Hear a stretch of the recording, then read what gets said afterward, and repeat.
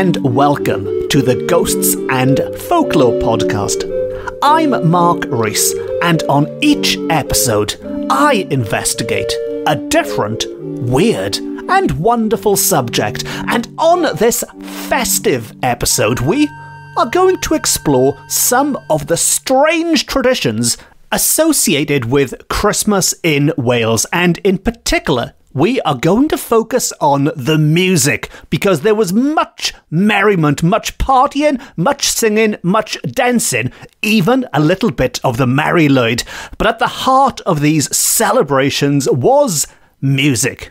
And I don't mean nice, polite church Christmas music, but the kind of music that went on all day, all night, and was accompanied by debauchery and the odd bit of fisticuffs. And this all took place during the 12 days of Christmas. Maybe a better name would have been the 12 days of carnage, as you will find out. Because while Christmas might have been very much a sacred time for the pious, it was also a time for partying. It could be described as a never ending party in Victorian Wales. Now, the folklore on this episode comes courtesy of an old favourite of mine, Wirt Sykes, the American folklorist who spent some time in Wales in the late 19th century. And I think Sykes is perfect for this kind of episode because not only did he experience all of this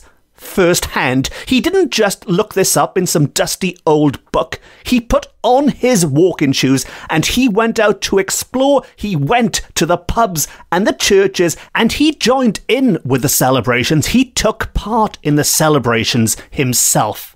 And what also makes Sykes great for this kind of episode is that he was indeed an American. This gives us an outsider's perspective, as it were, on the events. So rather than just take in the words of some passionate Welshman, we are getting the views of hopefully an impartial observer experiencing the wild and wonderful Christmases of Wales for the first time later in his life. And very quickly, before we get on with the good stuff, but as I've mentioned before, I find it amazing just how many people tune into this podcast from North America. And so this Christmas episode goes out to everyone on the other side of the Atlantic, especially here's an American's view of Christmas in Wales. So let's dive straight in with this festive folklore. And to begin, at the beginning, Sykes tells us that Christmas time is the most interesting holiday season of the year among Christian peoples. And while most countries have a variety of customs peculiar to it, in Wales, what he calls the land of Arthur and Merlin, it is a season of such earnest and widespread cordiality, such warm enthusiasm, such hearty congratulations between man and man that I have been nowhere equally impressed with the geniality and joyousness of the time. So for Sykes, it doesn't get any better, it doesn't get any more joyous than Christmas in Wales. There's a lot of joy, a lot of goodwill to all men and women going around. There were no Scrooges in Wales at the time, or certainly none that Sykes encountered, just fun and laughter. And to quote, he says that in some Catholic countries, one sees more merriment on the day itself. Indeed, the day itself is not especially merry in Wales, at least in its outdoor aspects. It is the season rather than the day which is merry in Wales. And I did touch upon this in last year's Christmas episodes if you would like to go back and check those out afterwards. But the day itself was quite sacred. People were up and about in the early hours of the morning to celebrate the birth of Christ. It wasn't all debauchery, there was the good Christian aspect to it. But what Sykes is telling us is that really for Wales, it wasn't about Christmas Day, it was about Christmas season. And that the Welsh people not only make much of the 12 days, but they extend the peculiar festivities of the season far beyond those limits. So while other places might make a big fuss on Christmas Day itself, maybe Christmas Eve, and others might make even more of it and celebrate for 12 days, in Wales we go even further. We said no, 12 days, that isn't enough because, as Sykes explains again, Christmas has fairly begun in Wales a week or two before Christmas Day. In fact, the Waits, which is a gang of musicians, are patrolling the streets of Cardiff, we are told, as early as December the 5th. And Christmas festivals are held as early as December the 19th, at which Christmas trees are displayed and their boughs denuded with the toys and lollipops in which the juvenile hearts delight. After Christmas Day, the festival continues I know not just how long, but apparently for weeks. So, to recap that quickly, we talk nowadays of Christmas gets earlier and earlier every year. We blame consumerism for making us stock up nice and early, but even in the Victorian age, Sykes is telling us that in Cardiff at least, they were celebrating from as early as December the 5th. And then afterwards, after Christmas, it went on for so long that he couldn't find an end point. So when I described it as the never ending Christmas, maybe that was true. Maybe that was literally. We have no idea when it starts, when it ends. Maybe it doesn't end. Maybe it's just one long, continuous Christmas, 12 months a year. But however long Christmas went on for, what actually happened at these endless Christmases? Well, to begin with, it's very traditional, Sykes tells us, more so than the neighbouring countries in Britain. And he says that the characteristics of the Christmas season are, he tells us, in the main, alike in all Christian countries. But in Wales, many well known old customs are retained, which in some other parts of Great Britain, in Scotland, and in England have disappeared, such as the mummers, the waits, carols, bell ringings, etc. Now, far be it from me to contradict Sykes, but some of those customs, if not all of those customs, are very much still alive in places in England and in Scotland, and if anything, are probably more established there than they are in Wales. But one aspect of all of this, which did particularly flourish in Wales, is everyone's favourite horse skulled visitor, and that is the Mari Lwyd. Now, I won't dwell too much on the Mari Lwyd here because I spoke about her quite recently, and again, if you'd like to check that out afterwards, that was episode 79. But I think it's safe to say that there aren't many countries in the world where you can find somebody carrying a horse's skull door to door to challenge their neighbours to a battle in rhyme in order to gain entry to their house to drink their ale and eat their cake. But if we look at the other traditions on that list that Sykes mentioned, there are bell ringers, he tells us, which sounds much more respectable than the Mari Lwyd, doesn't it? But not only do the bell ringers of the several churches do their handsomest on their own particular bells, but there are grand gatherings at special points of all the bell ringers from leagues around who vie with each other in showing what feats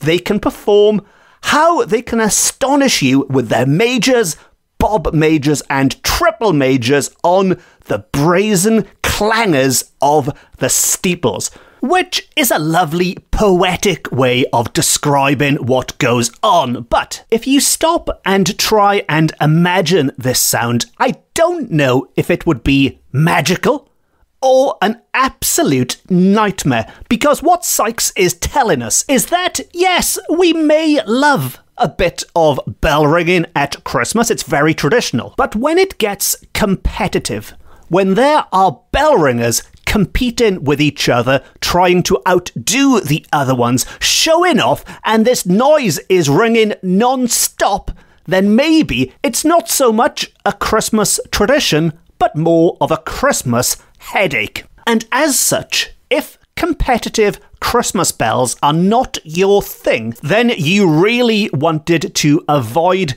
Cowbridge in the Vale of Glamorgan because it's there, we are told, the ringers of Aberdare, Penarth, St. Fagans, Llantrisant, Llanblethian, and other places, 30 or 40 in number, all get together. So the bell ringers from what could be 40 different places, 40 different places get together. And after they have rung until the air above the town is black with flying clefs and quavers from the steeples, they will all sit down to a jolly Christmas dinner at the Bear. Which must be great for the Bear. That's a pretty packed pub, I imagine. 40 lots of bell ringers getting together. But for the locals, you might want to get some Victorian earplugs. Because it might have sounded a little bit like this.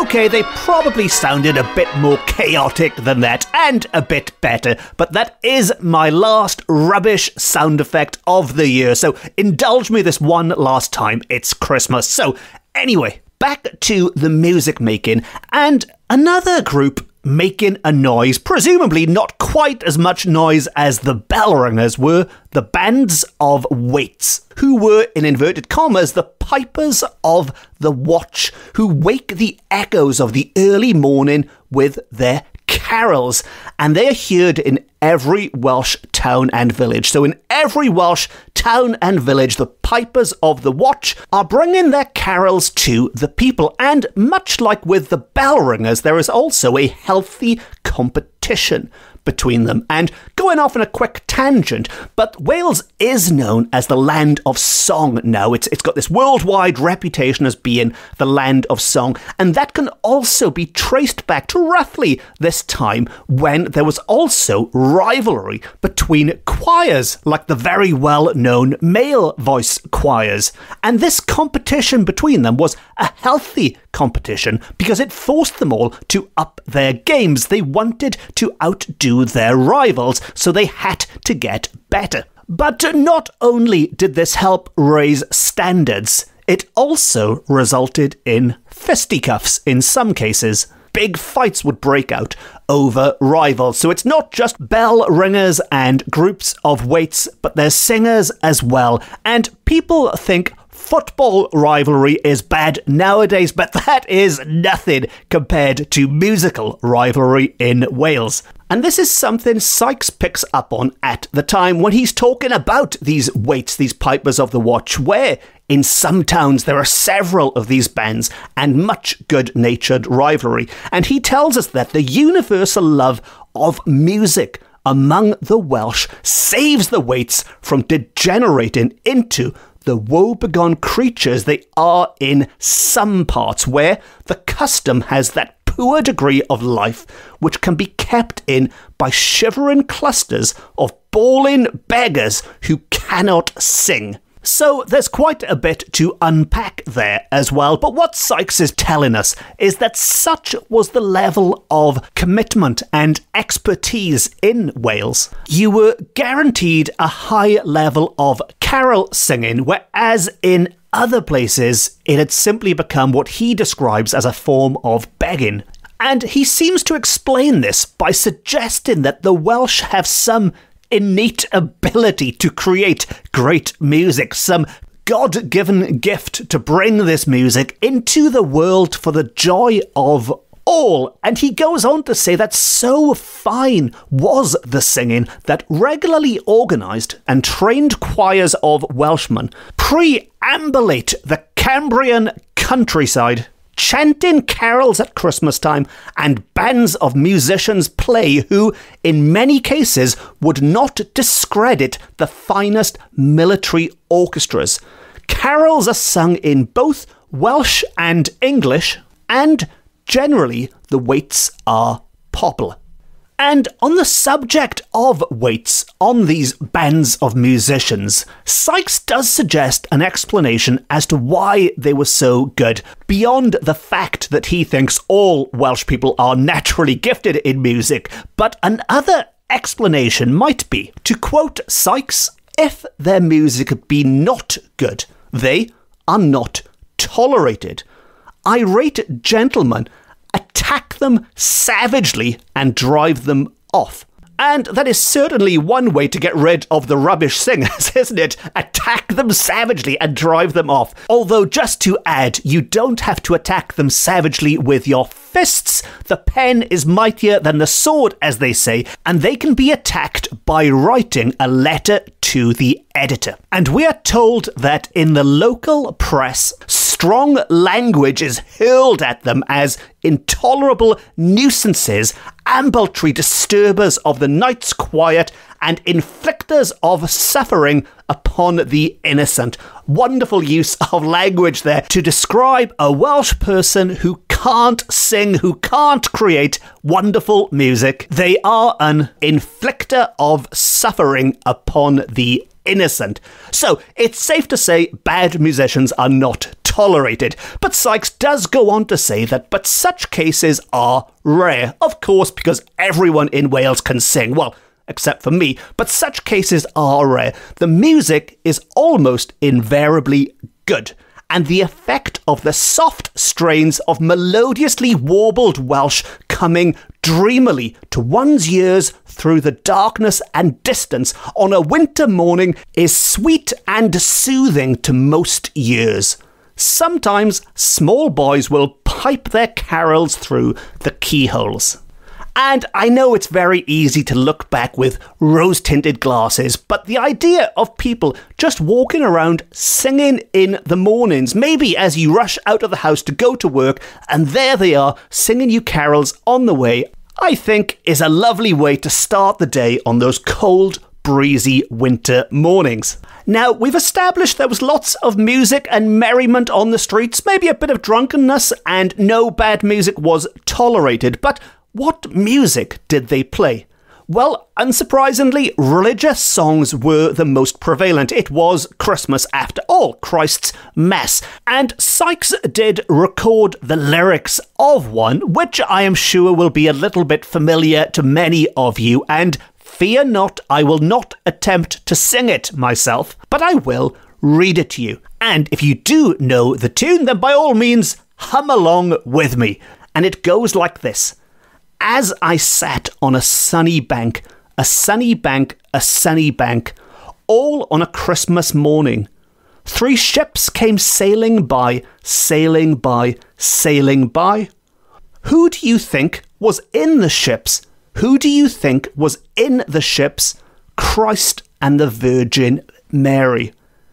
Now, this song is sung in both English and Welsh. Sadly, Sykes doesn't record the Welsh version for us, and sometimes a group of young men and women will be seen dancing about the waits to the measure of their music late into the night and the early hours of the next day. So while the day might start with a carol to send you on your way, it is also wrapped up with some presumably more boisterous singing and a bit of dancing well into the early hours of the next day.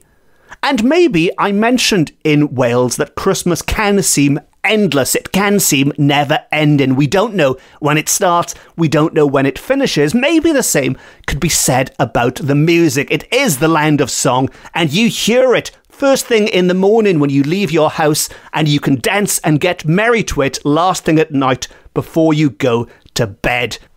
And on that note, I think it's time for me to get my dancing shoes on, to get my clogs on, because Christmas is looming. The big day is nigh. And before I leave you all to go off dancing and singing and getting merry and making the most of the season, it just leaves me to say Thank you for joining me on this podcast, whether you're a long term listener who's been with me all year or whether you've just stumbled across it and you're wondering what the hell I'm going on about, thank you for your support. And as always, if you have enjoyed it, please consider hitting the subscribe button. If you'd like more folklore and more festive folklore, you can follow me on social media. I'm on Twitter, I'm on Facebook, and I'm on Instagram.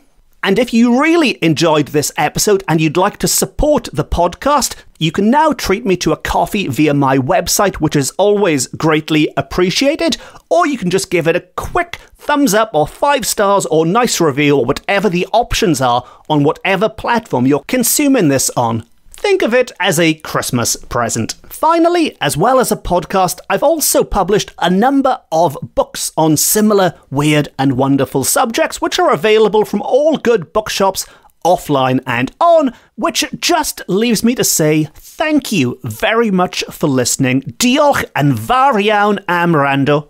I've been Mark Rees. This has been the festive edition of my Ghosts and Folklore podcast, beaming to you from Wales to the world. Have a very Merry Christmas and a Happy New Year. Nadolig llawen a blwyddyn newydd dda. And God bless us, everyone. No star.